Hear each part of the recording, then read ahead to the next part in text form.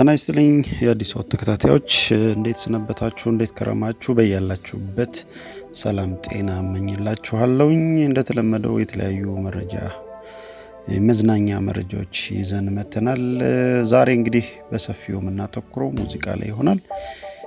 የምንዳስሳቸው ሙዚቃዎች እንግዲህ የመጀመሪያው የሚሆነው የሙሌ አመሰግናለሁ የሚለው ሲንግል ሙዚቃው ወጥቷል ትላንትና ማታ።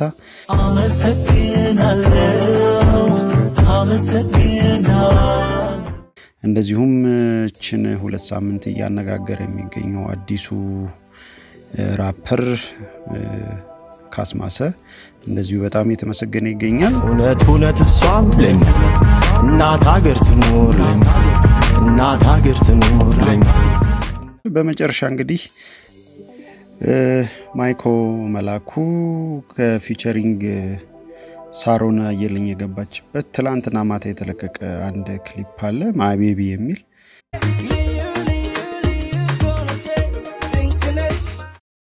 እስከ መጨረሻው አብራችሁን ሁኑ። መጀመሪያ እንግዲህ ወደ ሙሌ ልግባላችሁ።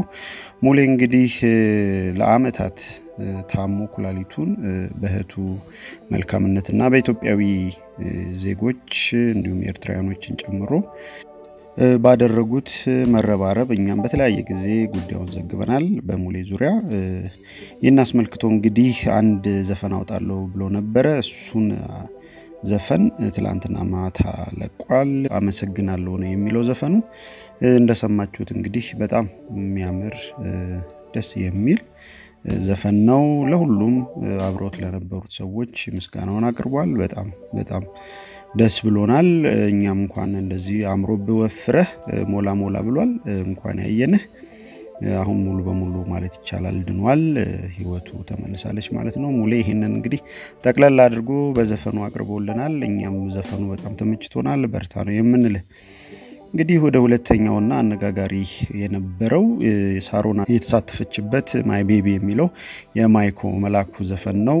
ዘፈኑ ያው ዘርዘር አድርጌ ለማየት ስሞክር ግጥሙ በጣም የተመታ ነው። ምንም ግጥሙ ብዙም ያው ለማስጨፍር ተብሎ የሆኑ አዝማቹ በጣም ይደጋገማል። የዘፈኑም አላማ ለምንድን ነው የተሰራው የሚለውንም ነገር ለማየት ለሞክሬ ነበር።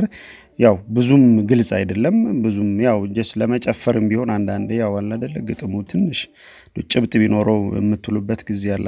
ልክ እንደዛ ጠብቄ ነበር። አይደለም። ሌላው ህብረተሰቡ በጣም እያነጋገረው ያለው የቪዲዮ አሰራር ይመስለኛል። ልክ አሜሪካ በቃ የለም ያለ ራፕ ዘፈኖች ላይ እነ ኒኪ ሚናጅ ላይ የምናያቸውን አይነት ለምሳሌ ይሄ twerk ማድረጋቸው እንደዚህ ቂጣቸውን እያሳዩ በፓንት መደነሳቸው ያው የነ ኒኪ ሚናጅ ዘፈኖች በብዛት እንደዚህ አይነት ይዞታ አላቸው እና ያንን ለማስመሰል የተደረገ ይመስላል። በጣም በጣም በሚገርም ሁኔታ ኢትዮጵያዊ ባህል በማይመስል ሁኔታ ተዘጋጅቶ ቀርቧል። ሁሉ ነገር ሲደረግ ከአንዳንድ ነገሮች በስተቀር የቀረው ነገር የለም። እንደምታዩት እንዳያችሁትም ክሊፑ ትንሽ በዛ ብሏል። እርግጠኛ ነኝ በኢትዮጵያ የትኛውም ቴሌቪዥን ላይ ይህንን ክሊፕ እንደማያስተላልፉት እርግጠኛ ነኝ። ለምን እንደ አይነት ነገር እንደሰራም እኔ አልገባኝም። ምናልባት ለየት ብሎ አነጋጋሪ ሆኖ ለመውጣትና ያው አለ አይደለ ሚዲያውን ለመቆጣጠር ስለሱ እንዲወራ ስለሷ እንዲወራ ለማድረግ ከሆነ እሱ ተሳክቶላቸዋል። ማይኮ ለምን እንደዚህ አይነት ክሊፕ እንደመረጠ ያው እሱ ራሱ እንግዲህ ወደፊት ማብራሪያ የሚሰጥ ይመስለኛል። እንደ አንድ አድማጭ ግን አላማው እነ ኒኪ ሚናዥ እንደ አይነት ነገር ሰሩ ማለት ኢትዮጵያ ውስጥ መሰራት አለበት ብሎ የሚያምን ከሆነ ተሳስቷል። ያ ሁሉም ሀገር የራሱ የሆነ ባህልና እሴት አለው። ያ ነገር እንደው በተቻለ መጠን ቢጠበቅ በጣም መልካም ነው ብዬ ነው የማምነው። በጣም እንደውም ዘፈን ሁሉ አይመስልም እና ይገባኛል። ከዚህ የባሰ ክሊፖች ሌላ ሀገር ውጭ ሀገሮች ተሰርተዋል። ነገር ግን እኛ ሀገር አልመሰለኝም። እንደዚህ አይነት ክሊፕ አይቻል አቅም በጣም በጣም ብልግና የበዛበት እኛነታችንን የማይገልጽ ዘፈን ነው ሙሉ በሙሉ ስጠቀልለው የኔ እይታ ነው። እስቲ እናንተም በዚህ ዙሪያ ላይ የተሰማችሁን ነገሩን እንወያይበት። በመጨረሻ እንግዲህ ለጆሮ በጣም በተለይ በተለይ ኢትዮጵያ ውስጥ አሁን በደንብ በወጣቱ እየተሰማ ያለው ካስማሰ ነው። ካስማሰ እንግዲህ ሰባት ሲንግሎች ለቆ ነበረ። በጣም በጣም የሚገርም ልጅ ነው። በጣም እንደዚህ hip hop rap እንደዚህ ያምራል ወይ እስከምንል ድረስ ነው እየሰማን ያለ ነው ካስማሰን። ካስማሰ እንግዲህ ከድሮ አነጋገር ዘመናዊ beat ኦችን ቀላቅሎ ያው በዚህ መልኩ ይዞ መጥቷል። ያው የነ የማይኮ መላኩንና የካስማሰን ስናወዳድራቸው በቀላሉ እንግዲህ ማንነት ሳይለቀቅ ህብረተሰቡ የሚወደውን ነገር መስራት እንደሚቻል እንዲሁ በዚህ ሁለት በሳምንታት ልዩነት የወጡትን ሁለቱን ዘፈኖች ማየት ብቻ ይበቃል። ካስማሰ እንግዲህ በጣም በጣም ተቀባይነቱ በአጭር ጊዜ ውስጥ ህብረተሰቡ ውስጥ እየገባ ያለ በጣም የሚገርም ራፐር ኢትዮጵያዊ ነው።